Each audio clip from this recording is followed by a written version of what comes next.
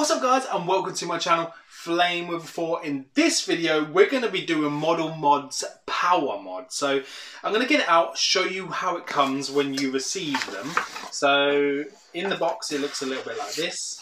So we're just going to crack on and get it out and have a look. So it's in this lovely black paper.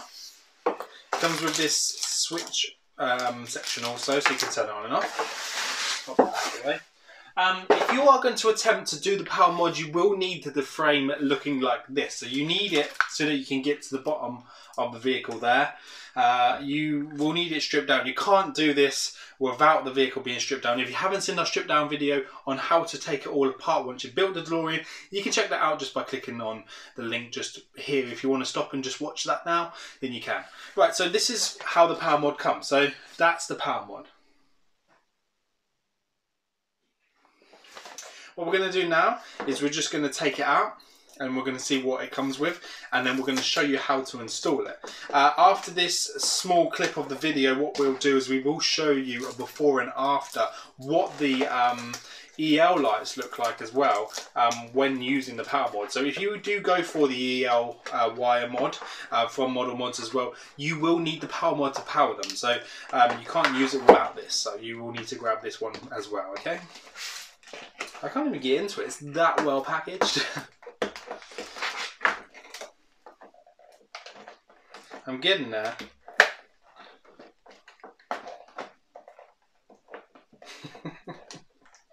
I can't open it.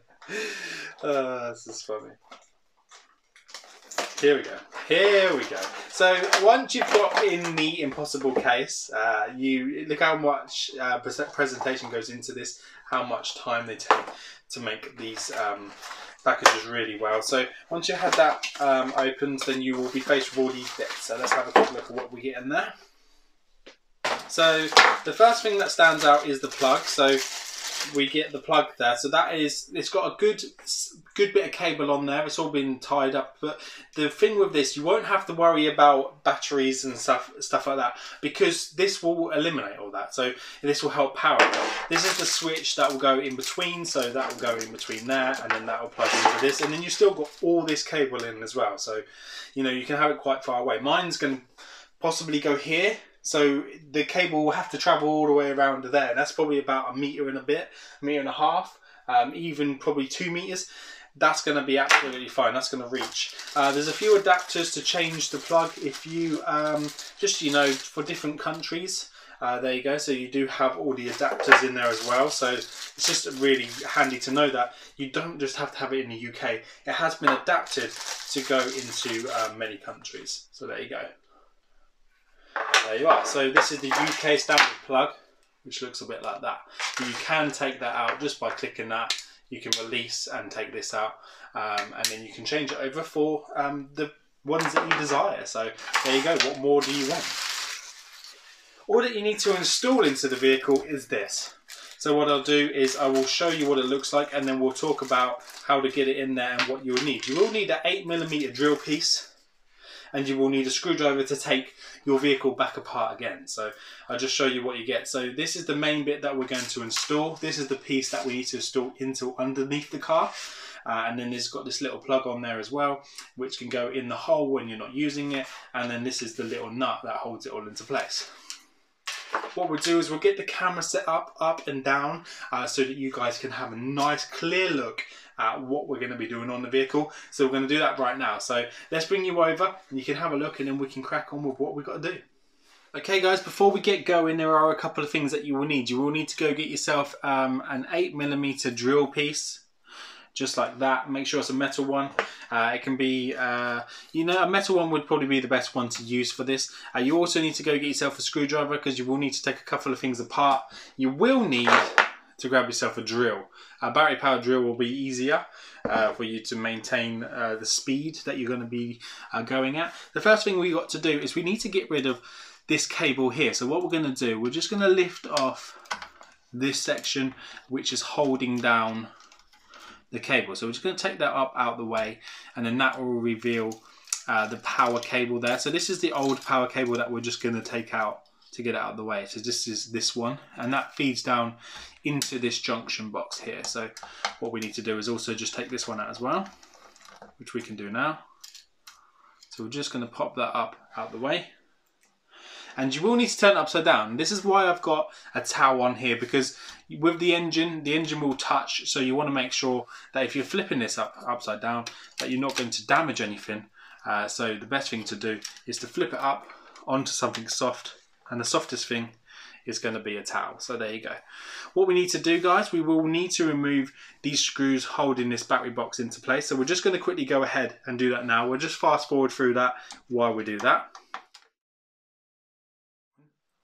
Once that's done guys, there are six screws, one, two, three, four, five, six, holding on the battery cover. So once you have that off, that will reveal everything underneath. This is the battery cover that we need to make the hole into. So the hole is just going to go just underneath here. So we'll do that in a moment just to show you guys. Um, the thing that we won't need is going to be this battery pack in here. So we can go ahead and remove the battery pack. So we're going to do that because we don't need it. Um, but you can install it again uh, if you want to. So it's probably best to keep on to hold of it uh, but once you've got uh, the mods in there, you know, you won't really need that. So the best thing to do is really just to get it removed so it's not in there at all. At the moment there is, just going to take them out. So there's two screws holding that side on and I think there's another one, a third screw holding the battery box on this side as well. So there should be three screws altogether. There you go. So there's three screws. I'll just show you. So um, there's one screw here, there's one screw there, and then there's also one screw there as well. So that's the three screws. The uh, switch should slide out and come out of there. So that should be quite easy to do. And then the rest of it should hopefully pull back through that hole. Let's see if it lets us pull it all the way through. We have got it connected so we can disconnect it from the battery terminal and then we'll see if it comes. I don't know if that hole is big enough to take that out of there, which it possibly isn't.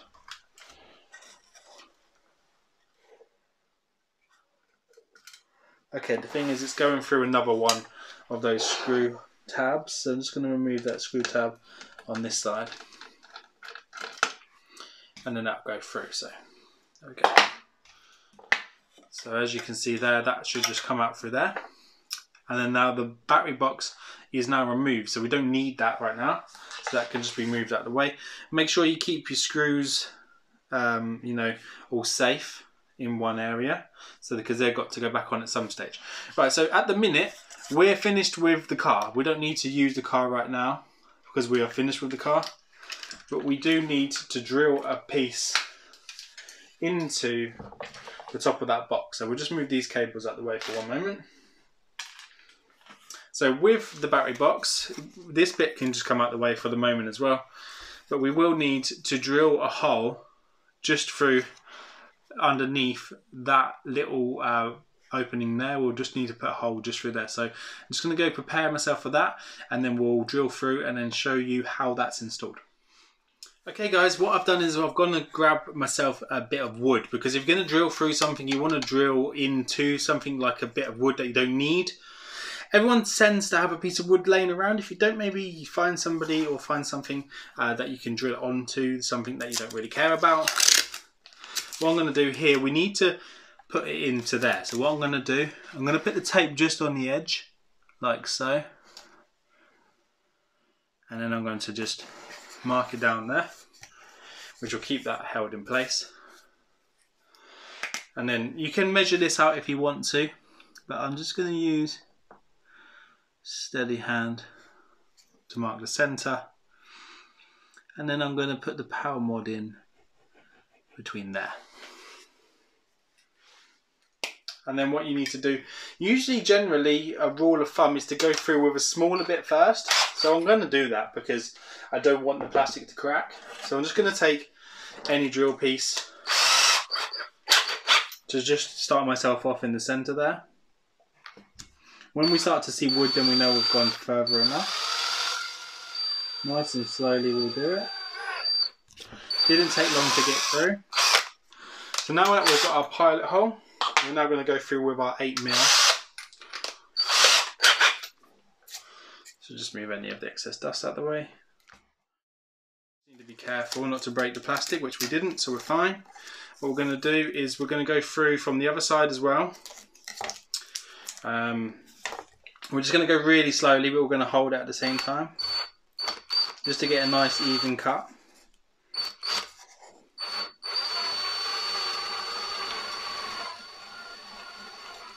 There we are.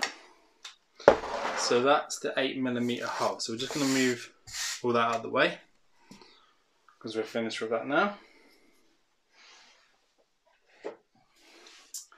And then what we should have is something that just looks like that. So a nice round hole that goes through there. So what that need what that means is that we can now install the pieces that we need to for the mod itself. So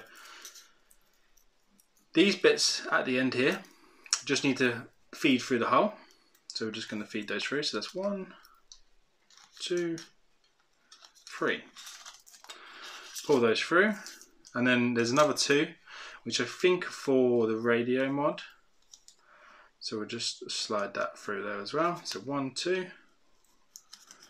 And then that will go in there. And then what that should do is that should sit in there nice and snug which it will. So that that's what it's going to look like when we um, have it all installed. So the next thing we need to put on there, I mean, if you're going to go and have this rubber section in, you're going to have to put that in first because and then what will happen is you'll be able to use that to plug the hole afterwards. So if you want to have the rubber section, you know what?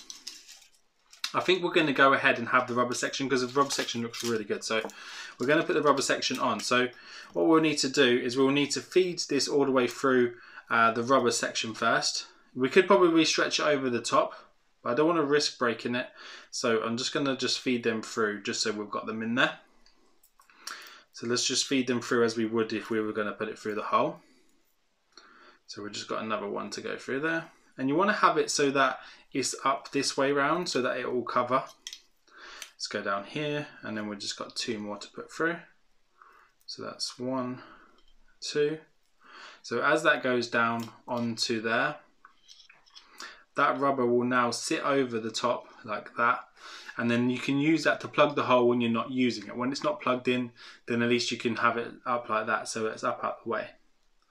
What we're going to do now is we're just going to straighten that up pull that up into place because we'll just leave that on because if that's on then that's going to be fine um, but we just need to put that feed that back through here this way so let's go ahead and do that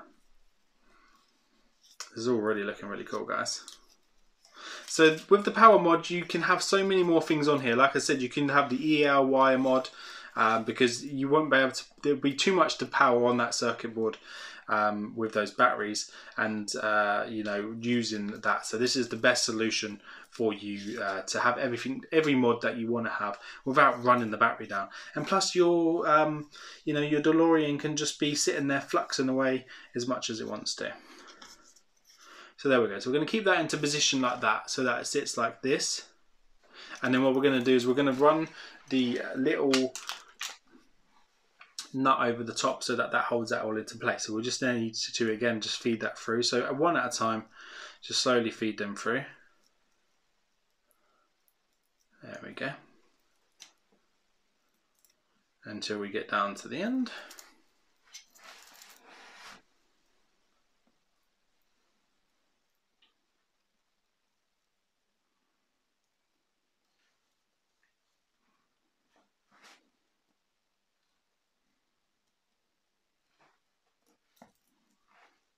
And then we just need to keep this into place. So what we're going to do is we're going to hold that into place.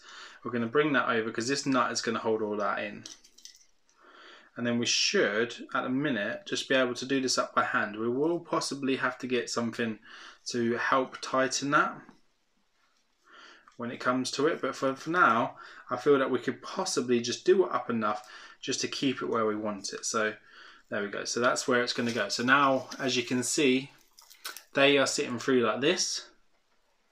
and then the mod looks like that and then it's so neat and tidy so you've got this little bit here so it just keeps all the rubbish out of there and then you can just seal it back up again just like that so when you're using it you'll have that off and then when you're not using it you just put it back in there because you don't have to have it plugged in all the time. You can just plug it in and at least you can take it around, plug it in somewhere, show it off to all your mates, uh, and then you've got it like that. And then also you still have the option to put the switch back in at some point if you need to, but at this at this moment we don't need to worry about that.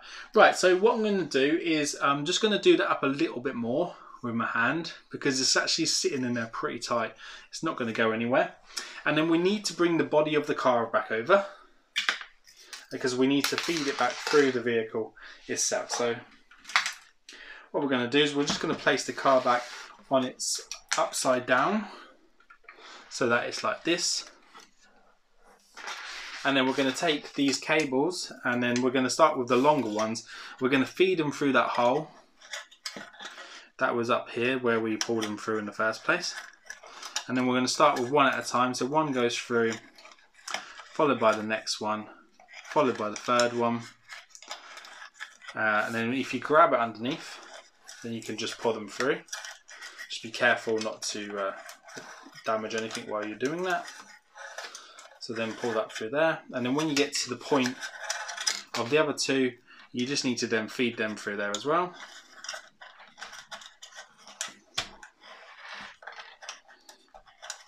So that's one. And then this one through as well.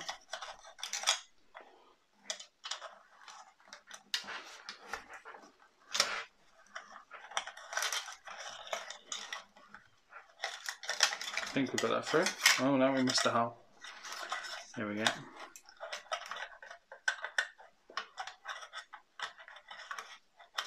There's so many through there now, it doesn't want to go. There we go, so that's in. So there you go. So that goes through, so they're all into there. So then what you need to do now is this, when that's through there, you just need to line it up where it would go, so it will just sit into there. And then what we need to do now is just pop those six screws back in. So we'll fast forward through pit nose back in and then we'll flip it up so we can see it on the other side.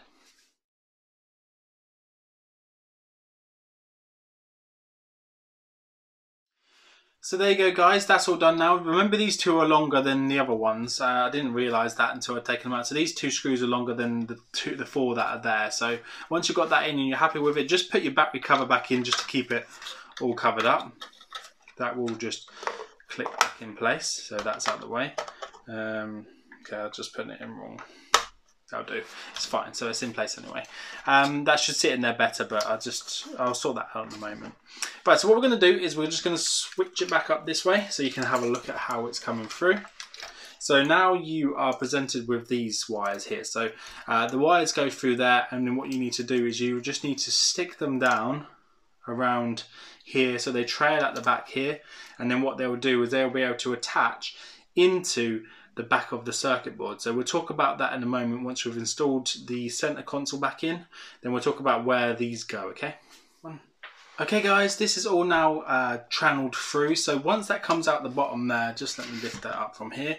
You'll see that we've used those little tabs again. I'll just tilt it to the side so you can see.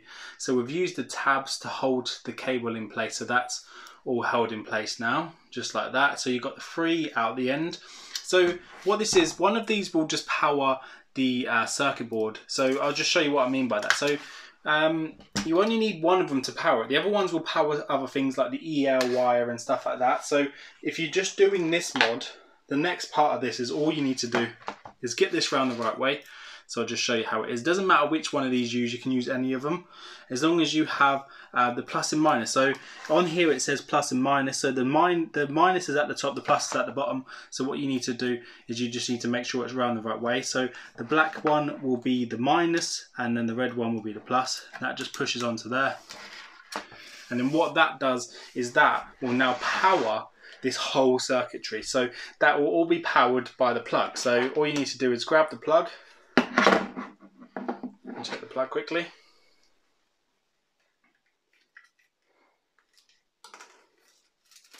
We're not going to plug it in. Um, we will show you in another video um, it all working with this uh, powered up, but we'll just show you for now. So all you need to do underneath you will need to add the extension because this one, the reason you would need to add the extension first is because this one is on an L bracket. So you don't want to go and plug it straight in using this one from the plug.